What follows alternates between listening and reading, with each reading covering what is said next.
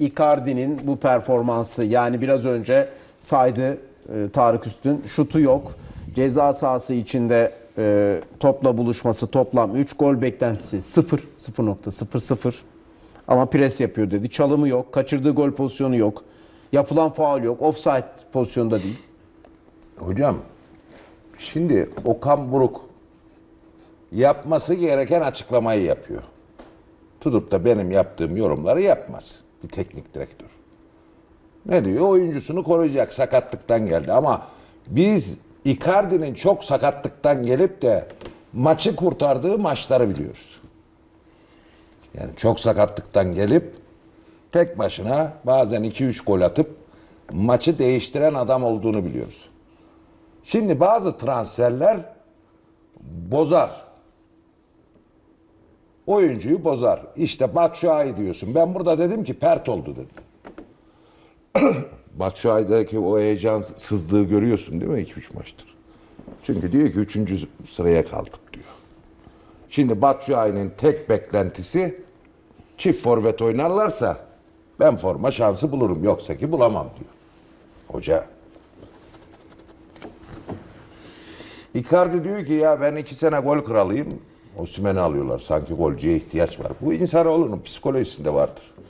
Mertens diyor ki ya şu diyor şimdi diyor çift forvet Icardi ile diyor şeyi oynatacak kimi kesecek diyor.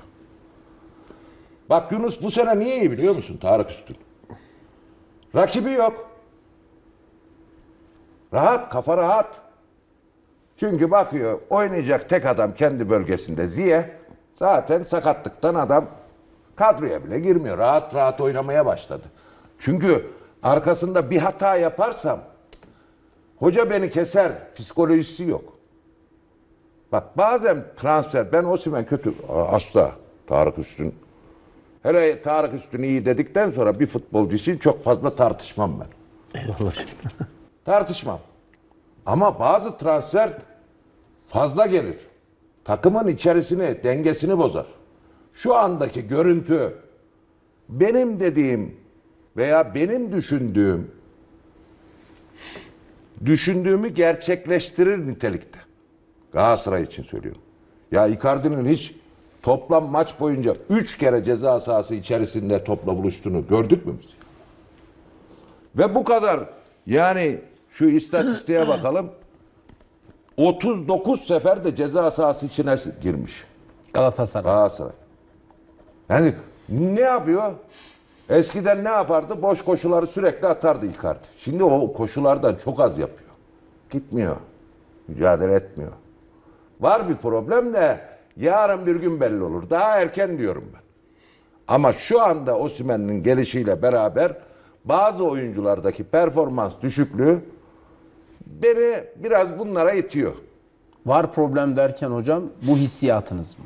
Ya maç içerisinde görmüyor musun? Problem değil mi Icardi'nin iki sefer, üç sefer topla buluşması? Tarık Üstün'ün dediği gibi. Aynı şeylere baktım çünkü 0-0-0. Peki hocam e, bağlantı oyuncusu olması, prese, takım presine, ön alan presine katkı sağlaması bunlar da oyunun içinde olan ve Okan Hoca da ben bundan memnunum. Sakatlıktan çıktı. Milli aradan sonra bambaşka bir Icardi olacak diyor. Şimdi iki tane şey söyleyeyim Hangi sana. açıdan bakmak lazım? Birine bir, bir- bir katılmadığım nokta var. Hoca belki katılmadım derken tartışma olsun diye söylüyorum. Yunus'un alternatifi yok, rakibi yok. O yüzden böyle iyi oynuyor dedi hoca değil mi? Ben ona katılmıyorum. Rahat ve alternatifsiz olursa özellikle bizim Türk oyuncularda daha bir rahatlık ve daha bir gevşeme olur. Ben öyle görüyorum yıllardan beri. Üstüne üstlük rakibi de var. Hem de yeni transfer Şallay var.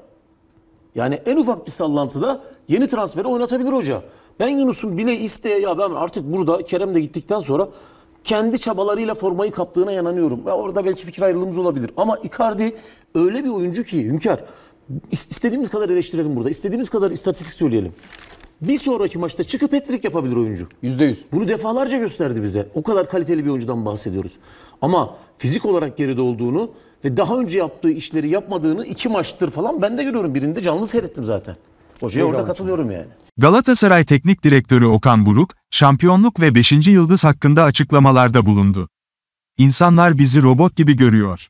Trendyol Süper Lig'in 8. haftasında Galatasaray, evinde Korendon Alanya Sporu 1-0 yendi.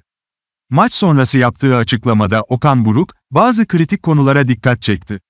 Buruk, şampiyonluk ve 5. yıldız hedefine yönelik iddialı ifadeler kullandı. İşte Okan Buruk'un açıklamaları. Futbolda bir heyecan var ama ülkemizde yaşanan trajediler de var, yaşanan şiddete tekrar hepimizin tepki vermesi gerekiyor. Onun için kendi adımıza ne yapılacaksa her şeyi ortaya koymalıyız. Gitgide kötüye giden olaylar yaşıyoruz. O yüzden en kısa zamanda bu biter. Kazanmak için çıkıp kendi oyunumuzu oynamak istiyorduk. Rakibimizin topa sahip olan bir takım olduğunu biliyorduk. Onları %45'te tuttuk. Özellikle ilk yarıda rakibi kalemize çok yaklaştırmadık. Hepimizin faul olarak gördüğü, hakemin faul vermediği bir pozisyon var en sonunda. Bu standartta ve onun altında da maç içinde çok faul verdi ama ceza sahası içindeki o hareket faul gibi gözüktü. Tekrarını seyretmedim. Sadece o pozisyonu net bir pozisyon olarak sayabiliriz. Rakibi kendi ceza sahamıza çok az soktuk. Oyun içinde ikinci golü bulabilirdik. Son iki maçın üstümüzde baskısı vardı. Ama bunu bitirmek için ikinci golü bulsaydık çok daha rahat bir maç geçirebilirdik. Başlayanlar, devam edenler ve bitirenler iyi bir şekilde bitirdi. Liderdik, lider devam ediyoruz. Rakiplerimizle puan farkını açmaya çalışıyoruz. Zamanlama olarak önemli bir galibiyetti. 22 gün içinde 7 maç oynadık. Herkes bizi, oyuncuları robot gibi görüyor. Dünyada da böyle görülüyor. Üst üste sakatlıkları da görüyoruz. Dün Real Madrid'de Carvajal'in çapraz bağları koptu. Geçen hafta Rodri'nin kopmuştu. Oyunculara bu şekilde çok yükleniyoruz. Üst üste maçlar oynuyoruz. Şimdi milli takıma gidecekler ve tekrar üst üste maçlar oynayacaklar. Burada oyuncularımızın ara sıra dinlenmesi gerekiyor. Milli takım arasında milli takıma gitmeyenler dinlenecek ama gitmeyenler bundan faydalanamayacak. Üst üste 7 maçlık seri en yoğun fikstürümüzdü. Bunu kazanarak bitirdik. İyi takımız, iyi oyunculara sahibiz. Üstün oyunumuzu her maçta ortaya koyuyoruz. Uzun galibiyet serisi bizim için önemliydi. Son 26 maçın 24'ünü kazanan bir Galatasaray takımı var. Bence bu çok önemli bir sayı. Bu yolda devam edeceğiz. Taraftarımıza yine teşekkür ediyoruz. Buraya gelip takımına tekrar destek verdiler. Onlarla birlikte olduğumuzda çok mutluyuz. Bizi destekleyen herkese teşekkür etmek istiyorum. Galatasaray şampiyonluk ve 5. yıldız için yarışına devam ediyor. En önde gidiyor. Milli takım arasından sonra çok daha iyi olacağımızı düşünüyorum, dedi. Galatasaray sahasında Alanya Sporu 1-0 mağlup etti. Maç sonrası Galatasaraylı Kaan Ayhan ve Yunus Akgün maçla ilgili çarpıcı açıklamalarda bulundular. İşte o açıklamalar. Kaan Ayhan, zor bir maç olmasına rağmen çok iyi bir performans sergilediğimizi düşünüyorum. Son iki maçta özellikle ikinci yarıda biraz zorlanmıştık. Bugün daha iyi bir konsantrasyonla çıktık sahaya. O yüzden de haklı bir şekilde galip çıktık. Skor 1 ila 0 olduğu için belki çok dominant görünmüyor ama çok dominant bir oyun oynadık. Neredeyse rakip takıma gol pozisyonu vermeden tamamladık. O yüzden mutluyuz. Milli araya iyi şekilde gidip dönmek istiyoruz. Sezon başından beri belki 1 ila 2 maç hariç çok üst düzey performans gösteriyoruz. Bence hatta geçen sezona göre daha dengeli daha baskın bir Galatasaray gördüğümüzü düşünüyorum. Dediğim gibi bunu skora yansıtmak önemli. Bugün belki 2 ila 3 gol atabilirdik ama olmadı.